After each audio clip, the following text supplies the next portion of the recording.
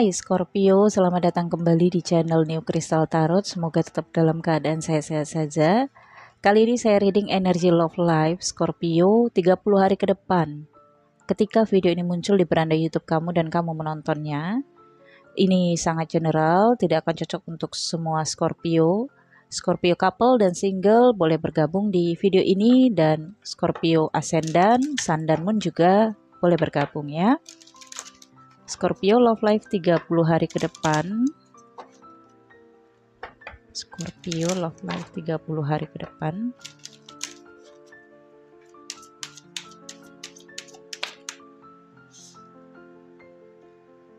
Love yourself first. Your self-respect makes you more romantically attractive. Wow. Scorpio, ini saatnya kamu menerima cinta, menerima kasih sayang, membahagiakan diri kamu. Saatnya kamu merasa bahagia dengan situasi saat ini. Katanya di sini ada masa romantis, ada gairah, ada hasrat, ada kesan-kesan manis di 30 hari ke depan dalam hubungan percintaan kamu.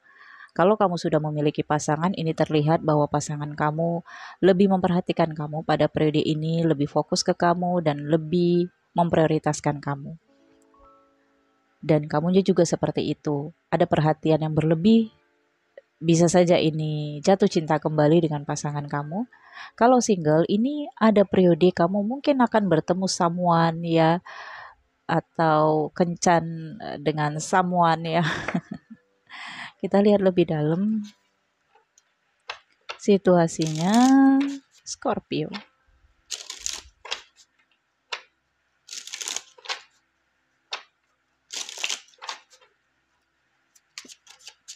Love life Scorpio 30 hari ke depan. Ten of Pentacles, The World, dan Three of Swords.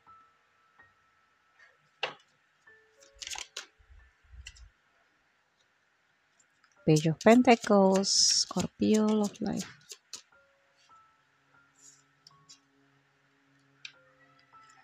The Hermit dan Five of Swords di bottom of the decknya. Hmm, Ace of Cups. Ini positif ya. Ada harapan baru, ada kesan yang baru, ada momen-momen baru yang terjadi pada periode 30 hari ke depan. Ten of Pentacles ini juga didukung karena kamu happy, mungkin kamu dapat bonus ya seperti dapat warisan bisa aja dapat wasiat atau dapat rezeki yang tidak terduga di sini ya. Bisa saja ini seseorang memberikan kamu hadiah. Kamu dapat surprise pada periode ini. Dan dengan kartu The World, 30 hari ke depan, beberapa aspek di dalam kehidupan kamu yang tadinya berantakan, yang tadinya tidak terkendali, ini semuanya selesai satu persatu ya, nggak langsung seabrek-abrek satu hari itu, tetapi memang terlihat perjuangan kamu untuk menyelesaikannya. Sehingga ketika periode love yourself first di sini muncul 30 hari ke depan, ini saatnya kamu santai, relax, membahagiakan diri kamu. Kamu perlu ke salon, kamu perlu spa, ya pijat, uh, mempercantik diri, mempertampan diri. Mungkin kamu membeli pakaian yang bagus ya untuk diri kamu, membeli perhiasan. Maybe sebagian di sini pengen ganti mobil. Pokoknya pengen terlihat eksklusif dan necis gitu ya.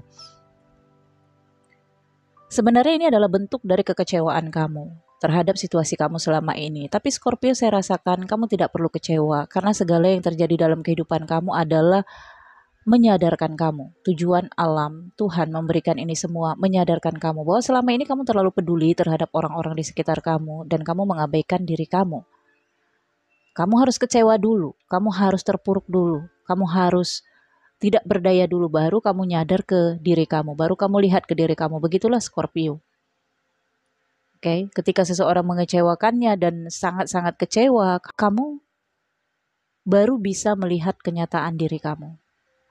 So di sini saya lihat ya, Page of Pentacles, ada keinginan kamu untuk meneruskan pendidikan. Dan kamu juga siap untuk memulai hubungan baru. Oke. Okay? Ada pekerjaan baru juga yang kamu dapatkan. Dengan The Hermit di sini terlihat bahwa kamu sudah semakin bijaksana ke depannya. Kemarin itu ada periode yang kamu habiskan seorang diri, kamu merenung, kamu mencari kebijaksanaan di dalam diri kamu. Kamu berusaha untuk tetap bijaksana di keluarga kamu. Dan ada periode di sini kamu akan membahagiakan keluarga kamu karena kamu happy, kamu rasanya pengen nge-share kebahagiaan kamu ke keluarga kamu. Five of Swords ya, ada situasi yang tidak bisa kamu lawan, tidak bisa kamu tolak.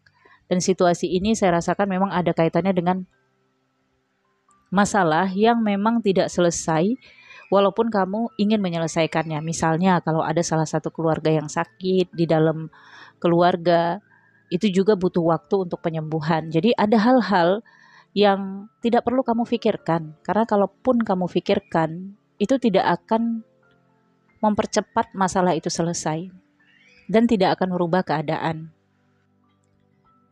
Sehingga pada periode ini kamu memang disarankan, udah deh Scorpio, udah banyak kok masalah yang berhasil kamu selesaikan. Ini saatnya kamu mengisi kembali cawan kosong. Kamu bisa mengisi harapan baru lagi di dalam batin kamu untuk percintaan yang baru, untuk relationship baru. Dan kalau kamu sudah berpasangan, ini saatnya kamu menganggap masalah kemarin itu selesai dengan kata the word ya. Dan ada hal-hal yang memang tidak perlu kamu pikirkan karena akan ada masalah yang sembuh atau selesai seiring dengan waktu. Oke. Okay? Scorpio, kamu juga fokus terhadap keluarga dan memberikan kebahagiaan untuk keluarga kamu. Mungkin kamu mengeluarkan uang untuk keluarga kamu, entah ini untuk desain atau membeli benda yang memang kamu lihat keluarga kamu ini butuh ya, sehingga kamu akan mengupayakannya dan kamu juga ngerasa happy karena satu sisi impian kamu di karir maybe ini tercapai sehingga kamu kayak ngerasa happy banget dan ini memperbaiki mood kamu yang selama ini ngerasa tertekan atau ngerasa menanti-nantikan. Ini energinya positif banget, tetapi pesannya di sini adalah saat ini kamu sudah semakin bijak, Scorpio, sehingga kamu sudah mengerti situasi kamu saat ini. Jadi, ketika ada masalah-masalah yang memang belum selesai, itu nggak perlu terlalu kamu pikirkan. Pesannya seperti itu aja, saya lihat. Dan kalau memang pikiran kamu di sini terbelenggu karena rasa bersalah atau karena rasa ketidakmampuan kamu, singkirkan itu karena ada banyak hal juga di dalam kehidupan kamu yang terjadi karena bukan menantang kemampuan kamu tetapi memang manusia harus menjalani takdirnya masing-masing. Saya lihat memang di sini bukan masalah totalitasnya, saya lihat memang bukan totalitas masalah kamu. Ini masalah bisa saja anak, adik, atau orang tua, tetapi karena kamu ngerasa terkoneksi dengan mereka, kamu ngerasa itu masalah kamu juga. Sehingga kamu sering kecewa dengan diri kamu sendiri yang tidak mampu untuk membahagiakan mereka. Oke? Okay? Satu sisi untuk kamu yang single ini adalah waktunya kamu menghabiskan banyak waktu dengan keluarga, tetapi juga kamu akan menghabiskan banyak waktu untuk memulai hubungan baru. Kamu di sini harus memberi respon terhadap diri kamu. Ini adalah awal yang baru untuk kamu Scorpio single karena di sini ada the word. Ada penyelesaian dari pengabdian kamu terhadap keluarga. Oke, okay? kamu di sini mindsetnya sudah ber, mindsetnya sudah terbuka karena kekecewaan yang kamu alami. Nah saat ini kamu belajar banget dari peristiwa-peristiwa yang kamu alami dan saya lihat ada harapan baru. Adakah seseorang yang baru yang datang untuk yang single? Saya rasakan di sini ada, tetapi ini masih terkait dengan orang lama. Sepertinya hubungan kamu dan seseorang ini akan diperbaiki kembali, tetapi memang momen uh, prosesnya tidak cepat kamu memberikan harapan lagi untuk seseorang yang mencoba balik atau kembali dalam kehidupan kamu?